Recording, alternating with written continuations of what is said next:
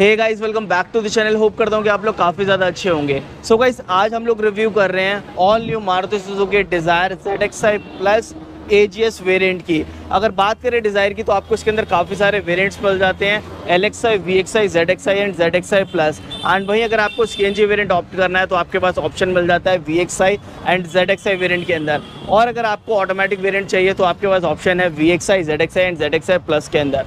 बात करें अगर इसके इंजन ऑप्शन की तो आपको इसके अंदर मिलता है 1.2 लीटर का advance K series dual jet dual VVT engine जो प्रोड्यूस करता है 66 किलोवाट की power and double one three N of peak torque and भाई, अगर बात करें इसकी कॉस्टिंग की तो ये इसका एक शोरूम प्राइस है nine lakh seventeen thousand five hundred rupees और ऑन रोड ये कॉस्ट करता है दस लाख साठ हज़ार रुपये अप्रॉक्सीमेटली सो गाइज़ अगर आपको कोई भी मारुति की कार बुक करानी है, मारुति सुजुकी एरेना डीलरशिप वाली तो आप लोग रीच कर सकते हैं बग्गालिंग मोटर्स जो कि कोटला मुबारकपुर के अंदर है, जो आपको अगर टेस्ट ड्राइव चाहिए या फिर कार की बुकिंग करानी है तो आप डायरेक्टली रीच आउट कर सकते हैं या फिर अब बात कर लेते हैं इसकी फ्रंट लुक की तो यहाँ पर अगर आप नोटिस करेंगे तो इस वेरिएंट के अंदर आपको देखने के लिए मिल जाते हैं। प्रोजेक्टर हेडलैम्प्स, जिसके अंदर आपको डे टाइम रनिंग जो एल ही है, वो भी आपको यहाँ पर देखने के लिए मिल जाते हैं। ये अगर आप पार्ट देखेंगे तो ये आपको पूरा एलईडी के अंदर मिलेगा और यहाँ पर आपको एलईडी के अंदर ही जो प्रोजेक्टर हेडलैम्प्स है, वो यहाँ पर दे दिया गया है। यहाँ पर अगर आप नोटिस करेंगे तो जो इसका इंडिकेटर है, वो आपको हेलोजन के अंदर यहाँ पर मिलता है। और और वहीं जो अगर आप अंडरनीथ नोटिस करते हैं तो ये आपको हेलोजन के अंदर मिलता है फॉग लैम्प और यहाँ पर थिक ब्रॉड के अंदर जो क्रोम एसेंट्स है, वो यहाँ पर दे दिए गए हैं। वहीं अगर बात करें इसके फ्रंट ग्रिल की तो ये सिंगल कर दी गई है। जब ये लॉन्च की गई थी 2017 में तो ये डुअल ग्रिल इसके अंदर आया करती थी अपर अपर वाली एंड लोअर वाली। बट अब इसके अंदर सिंगल ही जो ग्रिल है, वो ऑफ़र की गई है, जिसके सराउंड्स में आपको क्रोम एसेंट्स का जो वर्क है, वो यहाँ पर देखने के लिए मिल जाएगा। एंड इन बिटवीन आपको जो सुजुकी का लोगो है, वो काफ़ी ज़्यादा यहाँ पर ब्रॉड मिल जाता है। यहीं पर आपको लाइसेंस प्लेट की जो प्लेसमेंट है, वो दे दी गई है। एंड यहाँ पर अगर आप नोटिस करेंगे तो सेम चीज़ यहाँ पर भी ऑफ़र की गई है। कार जो है पहले से काफ़ी ज़्यादा अपीलिंग लगती है। जो क्रोम वर्क है वो इसको और भी ज़्यादा अच्छे लोग यहाँ पर ऑफ़र कर रहे हैं। यहाँ पर अगर आप नोटिस करेंगे तो जो वाइपर्स हैं वो आपको रेगुलर वाइपर्स यहाँ पर ऑफ़र किए गए हैं। वहीं अगर बात करें इसके डिमेंशन की तो इसकी डिमेंशन आपको मिलती है लेंथ है three double nine five M M and जो वेट है वो मिलती है seventeen thirty five M M and जो हाइट है वो मिलती है आपको fifteen and fifteen M M वहीं जो व्हील बेस है, वो है इसका चौबीस सौ पचास एम एम और इसके अंदर आपको मिलता है थर्टी सेवन लीटर्स का जो फ्यूल टैंक की कैपेसिटी है, वो इसके अंदर ऑफ़र की गई है। वहीं बात करें इसके साइड लुक की तो यहाँ पर अगर आप नोटिस करेंगे तो जो अलॉय व्हील्स इसके अंदर ऑफ़र किए गए हैं, वो प्रिसीशन कट या फिर आप कह सकते हैं कि डुअल टोन डायमंड कट के अंदर जो अलॉय व्हील्स हैं, वो यहाँ पर मिल जाते हैं। एंड जो व्हील साइज़ यहाँ पर ऑफ़र आपको ऑफ़र किया गया है, वो है फिफ्टीन इंचज़ का एंड अगर टायर साइज़ की बात करें तो 185 सेक्शन 65 आर फिफ्टीन का जो टायर है, वो यहाँ पर ऑफ़र किया गया अपोलो का एल लैक फोर जी जो जो कि काफ़ी ज़्यादा अच्छा टायर है। आप इसको अगर रग भी यूज़ करते हैं तो काफ़ी अच्छा जो परफॉर्मेंस है वो यहाँ पर देता है। अगर इसके साइड फेंटर की बात करें तो इंडिकेटर आपको यहाँ पर अवेलेबल नहीं मिलता। इंडिकेटर की जो प्लेसमेंट है वो इसकी ओआरवीएम पर की गई है, क्योंकि यहाँ पर आपको जो इसके इंडिकेटर हैं वो आपको यहाँ पर मिलता है। एंड ये जो मिरर है, ये आपको इलेक्ट्रिकल एडजस्टमेंट एंड रिट्रैक्टेबल जो ऑप्शन है उसके साथ ऑफ़र किया गया है। साथ ही अगर आप यहाँ पर नोटिस करेंगे तो इसका जो बी पिलर है वो आपको ब्लैक मैटन फिनिश में मिलेगा। एंड विंडो फ्रेम के आसपास आपको जो क्रोम लाइनिंग है वो यहाँ पर आपको ऑफ़र की गई है। साथ ही जो कीलेस एंट्री या फिर आप कह सकते हैं पैसिव एंट्री का स्विच है वो आपको यहाँ पर डोर हैंडल पर मिल जाएगा। डोर हैंडल जो है वो आपको बॉडी कलर्ड ही ऑफ़र किए गए हैं। एंड इस साइड इस तरीके की जो की है वो आपको यहाँ पर ऑफ़र की गई है, जिसके अंदर आपको lock unlock and boot opening का जो बटन है वो आपको यहाँ पर मिलता है। दो कीज़ आपको यहाँ पर मिल जाती हैं। एंड यहाँ पर अगर आप नोटिस करेंगे तो छोटा सा जो क्वार्टर ग्लास है वो यहाँ पर इस फ्रेम के अंदर ऐड कर दिया गया है। साथ ही मैं आपको कार को थोड़ा सा दूर से दिखाना चाहूँगा, कुछ ऐसी आपको लुक यहाँ पर मिल जाती है कार की। और वहीं अगर बात करें इसके रियर लुक की तो रियर लुक आप लोगों को कुछ ऐसा देखने के लिए मिलेगा, जहाँ पर आपको जो टेल लाइट्स हैं वो रैप अराउंड के अंदर मिल जाती है, जिसके अंदर आपको एल शिफ्ट के अंदर इसका डीआरएल है, वो यहाँ पर आपको लुक मिलेगा पूरे डीआरएल का। यहाँ पर आपको इंडिकेटर मिल जाता है हेलोजन के अंदर एंड रिवर्स लैम्प जो है वो भी आपको हेलोजन के अंदर मिल जाता है। यहाँ पर आपको डिज़ायर की टैलिक के अंदर बैजिंग मिल जाती है एंड बोल्ड जो है क्रोम लुक के अंदर पीछे आपको पूरा ये एप्लीक मिलता है जो कि काफ़ी ज़्यादा अच्छा लगता है, जो फ़र्स्ट जनरेशन से डिज़ायर आ रही है सेम ऐसा ही जो ये बोल्ड क्रोम के अंदर लुक है, वो यहाँ पर अभी भी बरकरार है, जो कार को अच्छा लुक देता है। सुजुकी का लोगो आपको यहाँ पर मिल जाएगा एंड अगर आपको इसको ओपन करना है तो इलेक्ट्रोमैग्नेटिक जो बटन है वो यहाँ पर ऑफ़र किया गया है, उसके थ्रू आप इसको अनलॉक कर सकते हैं। यहाँ पर आपको जो कैमरा है, उसकी भी प्लेसमेंट ऑफ़र की गई है। साथ ही, अगर मैं बात करूँ उसके बूट स्पेस की तो 378 लीटर्स का जो बूट स्पेस है, वो आपको यहाँ पर ऑफ़र किया गया है। यहाँ पर मैं आपको स्पेयर व्हील भी दिखाना चाहूँगा और स्पेयर व्हील अगर आप यहाँ पर देखेंगे तो आपको मिलता है 165 सेक्शन 80 आर फोर्टीन का जो टायर है, वो आपको यहाँ पर मिल जाता है, जो कि स्टील व्हील के अंदर है और जैक वगैरह का जो ऑप्शन है, वो पूरा आपको यहाँ पर मिल जाता है। पंपर की अगर बात करें तो यहाँ पर आपको चार जो सेंसर्स हैं रिवर्स सेंसर्स वो आपको यहाँ पर दे दिए गए हैं जो आप यहाँ पर नोटिस कर सकते हैं। सो so, कुछ ऐसा आपको लुक यहाँ पर मिलेगा। एंड अगर आप इस साइड मूव ऑन करेंगे तो जो पेट्रोल रिफिलिंग पॉइंट है वो आपको यहाँ पर लेफ़्ट हैंड साइड पर ऑफ़र किया गया है। एंड 37 लीटर्स का जो फ्यूल टैंक कैपेसिटी है वो आपको यहाँ पर मिल जाता है। सो so, अब चलते हैं इसके इंटीरियर की तरफ़ और इंटीरियर भी मैं आप लोगों को दिखाता हूँ कि कैसा आपको इसके इंटीरियर मिलता है। सो अगर इसके इंटीरियर की बात करें तो यहाँ पर आपको डुअल टोन फिनिश के अंदर जो इंटीरियर है वो ऑफ़र किया गया बेज एंड ब्लैक का जो लुक है वो आपको यहाँ पर मिलेगा। और यहाँ पर आपको कुछ जो नेचुरल वुड एसेंट्स हैं, वो आपको यहाँ पर ऑफ़र कर दिए गए हैं। इससे पहले जो फेसलिफ्ट से पहले जो कार आती थी, उसके अंदर आपको ये पूरा डार्क फिनिश के अंदर मिलता था। बट अभी आपको नेचुरल फिनिश के अंदर ऑफ़र किया गया है, जो काफ़ी ज़्यादा अच्छा लगता है। यहाँ पर अगर आप नोटिस करेंगे तो जो डोर हैंडल है, वो आपको क्रोम फिनिश के अंदर मिलेगा। यहाँ पर आपको एडजस्टमेंट के लिए जो ओ की एडजस्टमेंट है, उसका आपको कंट्रोल यहाँ पर मिल जाते हैं। लॉक सॉरी यहाँ पर आपको इलेक्ट्रिकली एडजस्टमेंट कर सकते हैं। साथ ही रिट्रैक्ट भी यहाँ पर ऑफ़र किया गया है।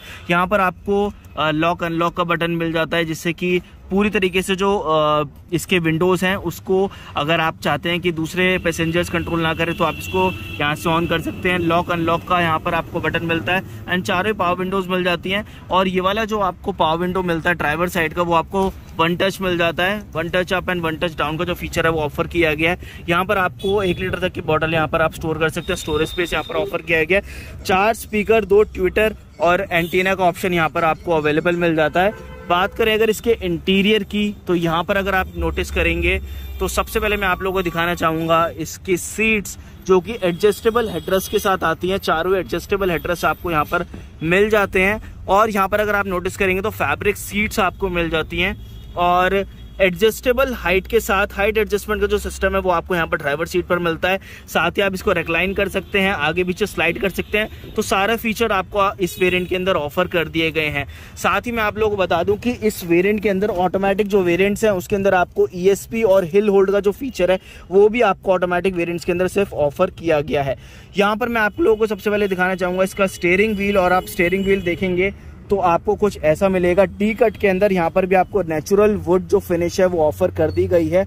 और यहाँ पर अगर आप नोटिस करेंगे तो जो कंट्रोल्स हैं वो आपको यहाँ पर मिल जाते हैं। यहाँ पर आपको मिल जाते हैं इसके कुछ ऑडियो कंट्रोल्स और यहाँ पर आपको मिल जाते हैं क्रूज कंट्रोल यहाँ पर आपको इस वेरिएंट के अंदर क्रूज कंट्रोल भी ऑफ़र किया गया है।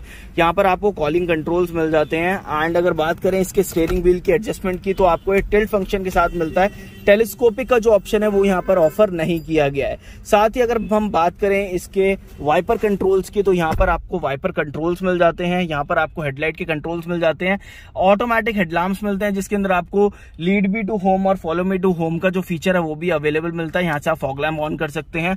बात करें अगर इसके इंस्ट्रूमेंट क्लस्टर की तो यहाँ पर आपको टैकोमीटर मिल जाता है, यहाँ पर आपको स्पीडोमीटर मिलता है, दोनों एनालॉग के अंदर है, बीच में आपको जो है इसकी एम आई कलर्ड के अंदर मिल जाती है, इस वेरियंट के अंदर, जिसके अंदर आपको यूजफुल इंफॉर्मेशन ऑफ़र की गई हैं, जो कि आप यहाँ पर देख सकते हैं। साथ ही अगर बात करें इस साइड तो यहाँ पर आपको स्टार्ट शॉप का जो स्विच है, वो ऑफ़र किया गया है।